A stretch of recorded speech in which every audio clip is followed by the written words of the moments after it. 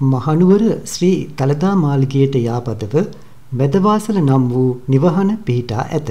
මධ්‍යම ප්‍රමාණයේ නිවසක් තරම් වූ මේ නිවහන ඓතිහාසික වශයෙන් වැදගත් තැනක් ගන්නා බව ජනගත කරුණක් වී තිබේ. සිංහල රාජාවලියේ අවසාන රජු ලෙස සැලකෙන ශ්‍රී වික්‍රම රාජසිංහ රජුගේ විදේශීය බිසව රඳවා සිටි එහෙමත් නැතිනම් එය දීර්ඝකාලීනව වාසය කළ නිවහන ලෙස එය පිළිගැනේ.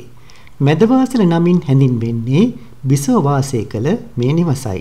මැදවාසල ඓතිහාසික වශයෙන් මෙන්ම කලාත්මක අතින්ද වැදගත් වන්නේ එහි ඇති විසිතුරු දාරුමිය කැටයම් නිසාය. ඒ අතරින් චන්ද්‍රවංක උළුවස්ස විශේෂයි. රාජකීය කාන්තාවක් විසූ ස්ථානයක්සේ සැලකෙන මැදවාසල සිත් ඇද ගන්නා සුළු තනක් ලෙස හැඳින්වීමේ වරදක් නැත.